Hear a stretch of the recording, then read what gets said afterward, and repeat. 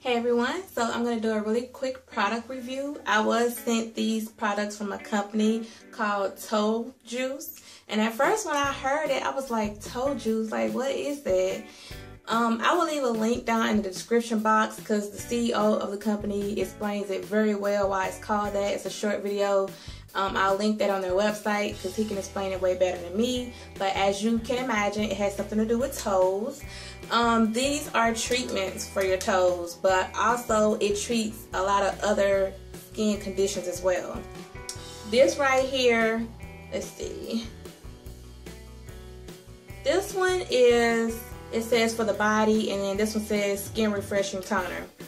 So let's see. This is the original, the green, and this one is especially the blue is like especially for your face and everything. And what you want to do is apply with a cotton pad once in the morning, once at night, and it's going to evaporate really quickly. And it's just for overall skin health, but it does also treat certain skin conditions. I'm going to list those really quickly. If you have acne, athlete's foot, cold sores, if you're diabetic, if you have eczema, any kind of foot problems, um, insect bites, jock itch, jungle rot, mis miscellaneous skin irritations, psoriasis, rashes, ringworms, warts, any kind of skin condition, you can also use these products on your skin. And they also have tons of other reviews on their website.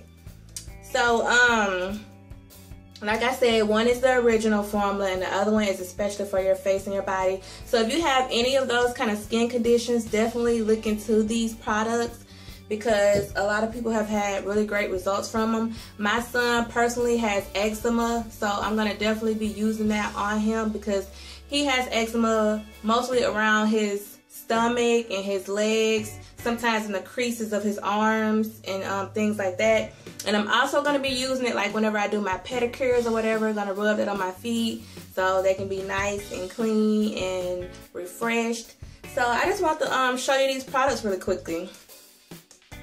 So I will definitely leave the link down in the description box if you want more info on these, if you have any kind of skin conditions um, I actually Googled it online and I saw that Walmart popped up, Walgreens, Amazon. So there's a few places you can buy from, you know, including the website itself. So if you guys have any questions or comments, just let me know. Thanks for watching.